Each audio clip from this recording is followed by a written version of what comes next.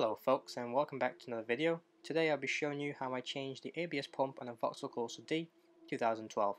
Now this pump has failed because it wasn't supplying brake fluid to the driver caliper and therefore the brakes didn't work. Now first of all you want to make sure that the new pump matches your existing one, referring to the serial numbers on both of them, and also ensure the ports are clean from debris. Okay, let's jump straight into it. Locate your pump which should be on the right side of the vehicle behind the battery and firstly remove the cover.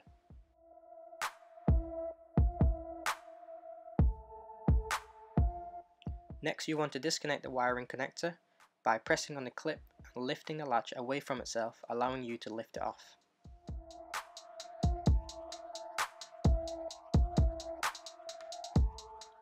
Okay, so here's a better view of removing the connector.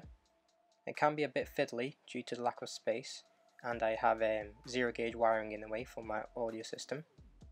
Essentially press the clip and then you can lift the latch allowing you to lift the connector off.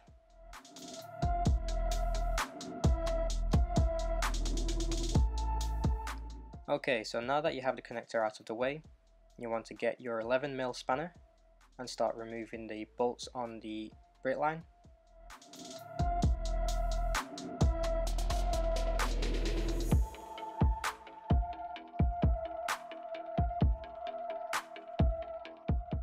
So, using your 11mm spanner, start to loose off all the brake lines and screw them out.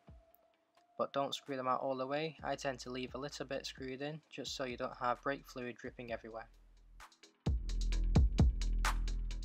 Okay, so I've removed the brake line that I think is uh, causing the problem. This is the one that leads to the driver's side caliper and as you can see there is no brake fluid coming out of it and it's completely dry.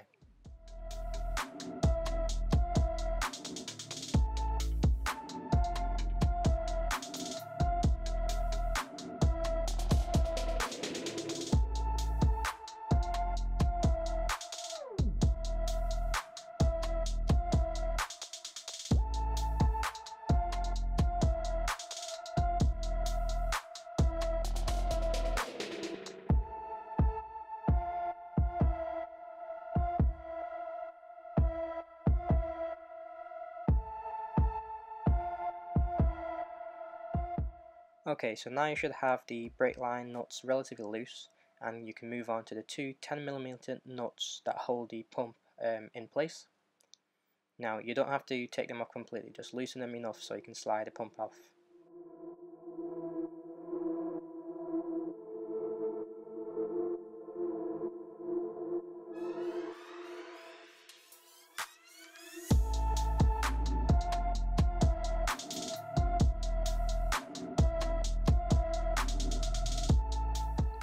Okay, so the pump should now be loose. Um, all you need to do is just maneuver the pump out of the vehicle, just move the brake lines out of the way. They will be dripping, so be quick with this process. And you just need to replace it with your new pump that's working. Okay, so a quick tip for you guys, what I'm doing here is I'm putting some brake fluid onto the rubbers. Just allows it to slide on a bit more easier.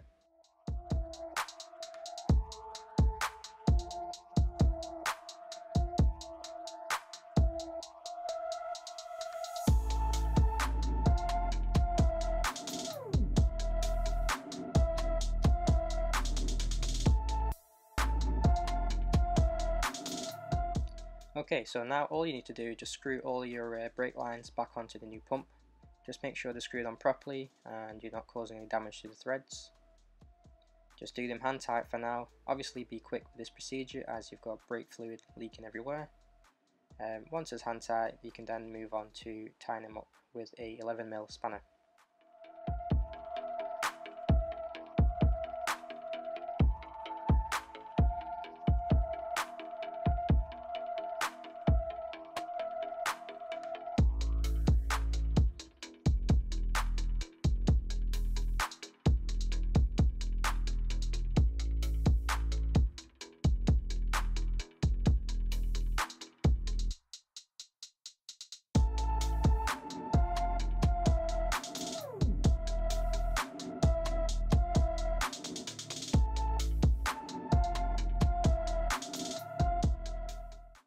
Okay, just make sure you tighten up the nuts that hold the pump on place.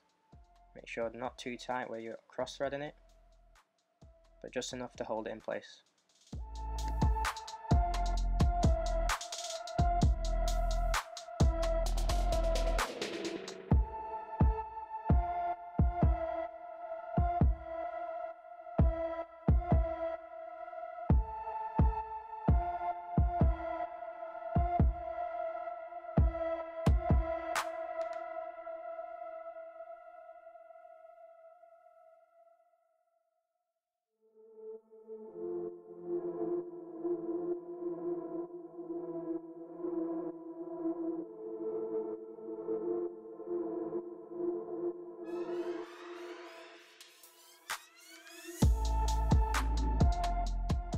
Okay, so now we attach the wiring harness back into place.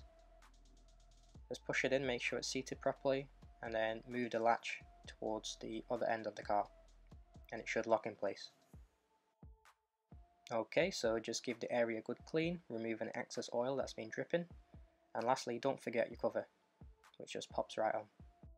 Okay, and that wraps up the ABS pump replacement. Hope you guys found this video helpful. Uh, just make sure to hit the like and subscribe. Peace.